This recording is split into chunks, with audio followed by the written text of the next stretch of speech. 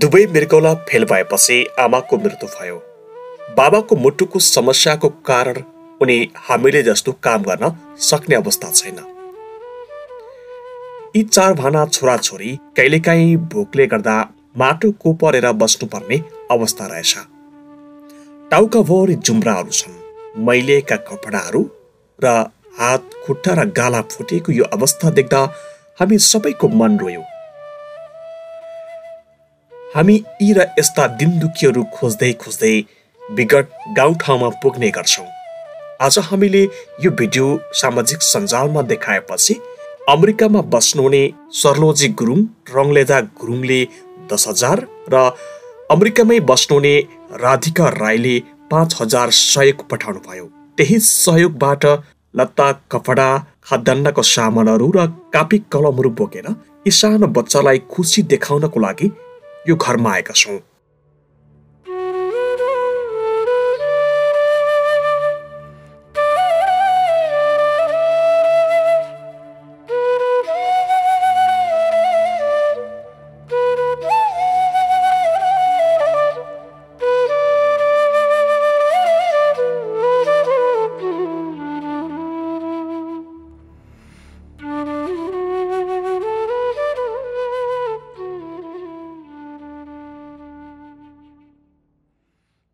दर्शक नमस्कार।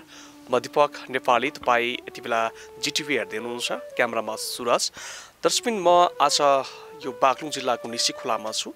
योभन्दा अगाडि मैले एउटा भिडियो बनाएको थिएँ जुन उहाँको आमाको मृत्युपछि बाबाको यता मुटुको समस्या र चार बच्चाहरूको चाहिँ बिचल्ली भएको अवस्थाको भिडियो बनाएको थिएँ।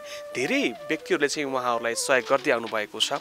जुन अमेरिकामा बस्ने लिलबहादुर थापा लगायत यहाँनिर राधिका राई र सरलोजी गुरुङ लगायतका सबैले यहाँनिर सहयोग गर्दै आउनुभएको छ परिवारलाई। र आज मैले चाहिँ यहाँनिर सरलोजै गुरुङ र त्यस्तै गरी राधिका राई जुन अमेरिकामा हुनुहुन्छ उहाँहरूले पठाएको सहयोग रकमबाट यहाँनिर मैले चाहिँ केही खाद्यान्नको सामानहरू त्यस्तै गरी बच्चाहरूको लागि लत्ता कपडा र केही खानेकुराहरू चाहिँ लिएर आएको छु। मैले चाहिँ बिबिचमा आएर चाहिँ बच्चाहरूको अवस्था के छ भनेर चाहिँ फलोअप गरिराखेको छु। म बच्चाहरूसँग कुराकानी गर्छु अनि यहाँनिर उहाँको बुबासँग पनि कुराकानी गर्छु। नमस्कार सर नमस्कार। सन्चै हुनुहुन्छ? सन्चै हो है के छ बच्चाहरूको अवस्था अहिले? बच्चाहरूको धेरै गाह्रो छ। बच्चाहरूको अनि कतातिर बिरामी हुने कतातिर अब अब यो ढुलो माटोमा नि धेरै गाह्रो भइरहेछ धेरै गाह्रो छ है? हजुर। अनि स्कुल गएर आज बच्चाहरू? आज स्कुलको बिदा छ। गइरहेछन् आज बिदा छ। तपाईँ आज काममा जानु भएन? आज म काममा जाने हो। अहिले खाना पिना बच्चाहरूलाई गरेर। खाना खाएर काममा जाने तयारी गरिदिनु हुनुहुन्छ हजुर। अनि नानु नमस्ते। नमस्ते। सिधो भएर बस त।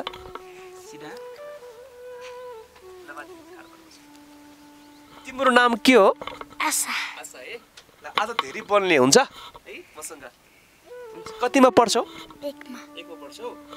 अनि आज भाइ बहिनीलाई नुहाइदिएनौ अह, अहिले नआउने अहिले नआउने हो? हजुर। खाना पकायो कि पकाएनौ?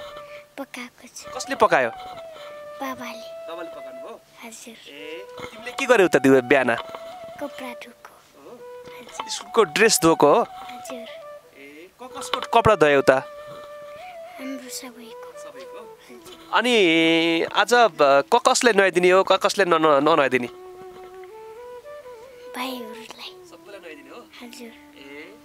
अनि नानु नमस्ते। तिम्रो नाम के हो? अनि यो दाँत कहिले फालेको तिमीले?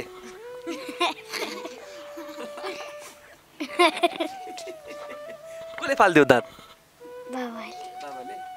तिम्रो दाँत फाले छैनौ नाम के हो तिम्रो?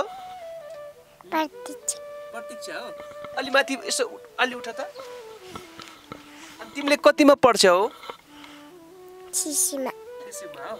मम्मी खै त तिम्रो?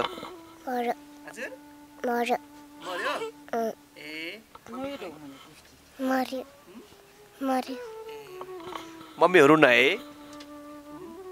बाबा खै त त्यसो भए बाबा? खै बाबा? बाबा खै? अनि नमस्ते कान्छो। के छ? नमस्ते। तिमी त नौन पनि मान्दैनौ रे डुकुर छौ रे तिमी त। किन हो? होइन। होइन। पानी चिसो छ र? हजुर। चिसो छ? हजुर। तिमीले के गर्छौ त बिहानमा? के के गर्यौ काम? तिमीलाई पढ्न लानु पर्छ क्या हो कि उता बुटुलतिर हुन्छ? हुन्छ। हुन्छ। जान्छौ बुटुलतिर पढ्न? हजुर। जान्छौ? हजुर। हुँ? को जाने? दिदीहरू जाने कि बहिनीहरू जाने कि को जाने पढ्न? सबै जाने। हँ? सबै। जान्छौ पढ्न? हुँ?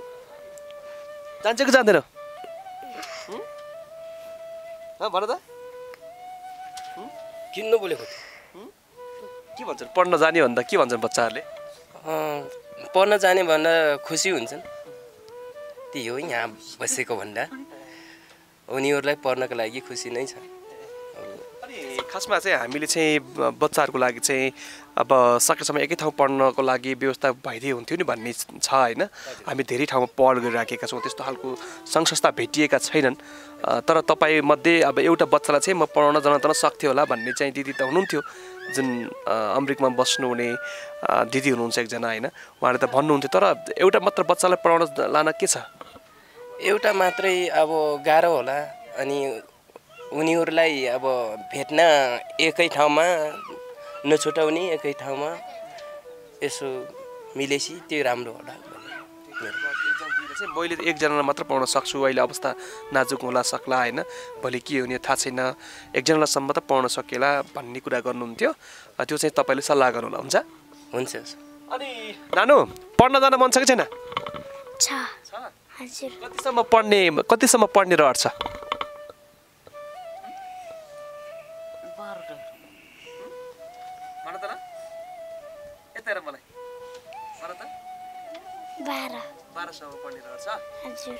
तिमीलाई मात्र पढ्ने पढ्ने रहर छ कि अरूलाई पनि पढाउन मन छ भाइ बहिनीलाई भाइ बहिनीलाई पनि। भाइ बहिनीलाई पनि पढाउनु मन छ? हजुर। आज म दर्शकहरूलाई देख्न चाहन्छु। यहाँनिर तपाईँ देखिरहनु भएको छ। मैले चाहिँ बच्चाहरूको लागि चाहिँ यहाँ कापी कलम ल्याइदिएको छु। बाबुलाई यो खोला तला। यो खोला तला। खोला। मैले चाहिँ यहाँनिर बच्चाहरूलाई चाहिँ पढ्नको लागि चाहिँ कापी कलम ल्याइदिएको छु। यहाँ चाहिँ सर्लोजी गुरुङले दस हजार त्यस्तै गरी राधिका राईले पाँच हजार पैसा सहयोग गर्नुभएको थियो र उहाँहरूलाई चाहिँ मैले यहाँनिर चाहिँ लत्ता कपडाहरू अनि कापी कलमहरू ल्याइदिएर आएको छु दर्शकबिन र मैले यहाँ हस्तान्तरण गर्दैछु। ल यो चाहिँ ल यो चाहिँ होइन कापी कलम है। ल सबैलाई बाँड्ने तिमीले ल। ल सदा।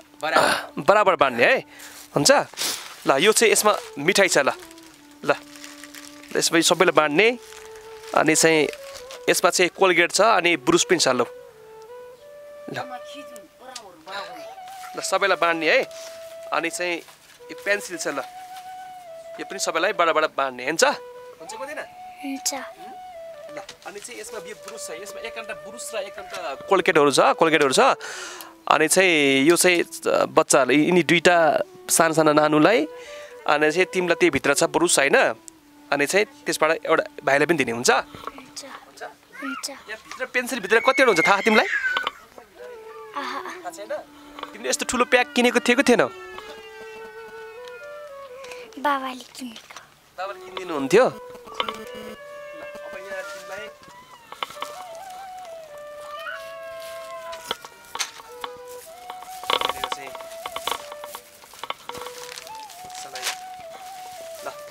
छ यहाँ केक ल। छ त। ल सबैले केक खाने हुन्छ? हुन्छ? हुन्छ। कुन हुन्छ। हुन्छ है। के हो त्यो? केक। केक हो? ल। यो चाहिँ यो बिस्कुट ल।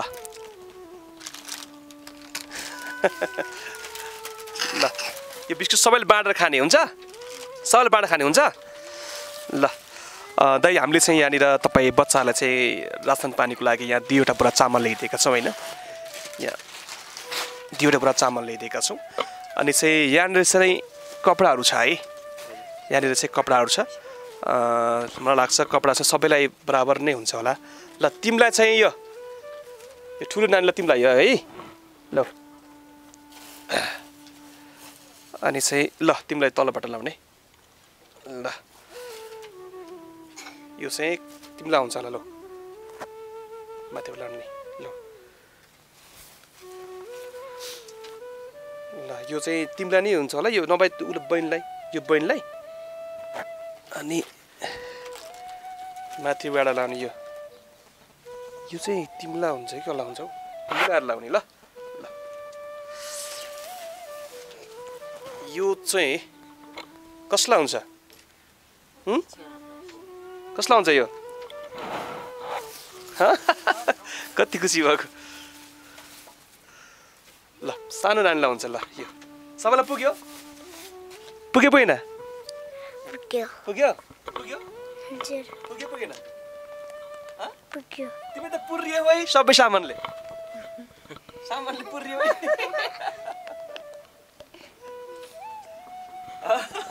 टाउको मात्र देखाएको छ त तिमीले? कस्तो लाग्यो नानु? ठिकै। ठिकै लाग्यो। कतिको रमाइलो लाग्यो? रमाइलो। हामी अब आउने कि नआउने तिम्रो घरमा? आउने। आउने? हजुर। अब आउँदा के लिएर आउने? अब आउँदा के लिएर आउने भन्नु त। कपडा। अझै कपडा लिएर आउने हो? ल तिमीलाई अब कपडा कापी कलम अझै लिएर आउँछौ हुन्छ? तर तिमीहरू चाहिँ राम्रो पढ्नु पर्छ नि फेरि है? तिमीहरू राम्रो पढ्यो भने पढेनौ भने बाबालाई दुःख दियो भने हामी आउँदैनौँ फेरि? राम्रो पढ्ने कि नपढ्ने? पढ्ने। पढ्ने। राम्रो पढ्ने? अँ। पढ्ने राम्रो पढ्ने? अँ। भाइ तिमी राम्रो पढ्ने नपढ्ने पढ्ने? अब आउँदा साबुनहरू लिएर आउँछौँ। अहिले हामी बाइकमा आउँदाखेरि सबै सामान लिन सकेनौँ है। अब आउँदा बाइकमा आउँदाखेरि साबुन लिएर आउँछौँ। यो यो पुरै धुने है हुन्छ? हुन्छ। हाम्रो साबुन लिएको हो कि अस्ति हामीले? हो। ल अब आउँदा धुने हेर यो कपालमा यो जुम्रा हेर यो। ए कान्छु नुहाउनु परेन। दर्शकबिन हामी चाहिँ यो परिवारसँग कुराकानी गर्ने प्रयास गरेका छौँ जुन सरलोजा गुरुङको एउटा परिवारहरू त्यस्तै गरी राधिका राईहरूलाई विशेष धन्यवाद दिन चाहन्छु। उहाँहरूले पठाएको पैसाले मैले चाहिँ यहाँ यहाँनिर चाहिँ लत्ता कपडा लुगा फाटाहरू चाहिँ रासन पानीहरू चाहिँ बच्चाहरूको लागि चाहिँ यहाँ मिठाईहरूदेखि लिएर चाहिँ खानेकुराहरू लिएर आएको छु। र आज हामी चाहिँ यो परिवारसँग आउँदा एकदमै खुसी लाग्छ।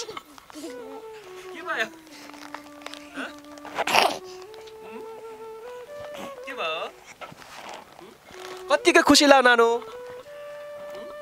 खुसी लाग्यो कि लागेन लायो। लाग्यो है। अब आउँदा के ल्याइदिने मैले? कपडा। कपडा ल्याइदिने हो? ल यसलाई फेरेर नयाँ कपडा लाउने अब हुन्छ? के भन्न चाहनुहुन्छ सहयोग गर्ने दिदीहरूलाई चाहिँ दाइ? धेरै उहाँहरूको लागि धेरै धन्यवाद छ। उहाँहरू पनि एकदम हामीलाई सम्झिने राम्रो चाहिँ उनीहरूलाई पनि भगवान्ले सम्झोस्। त्यति नै हो। अब मलाई खुसी लाग्यो।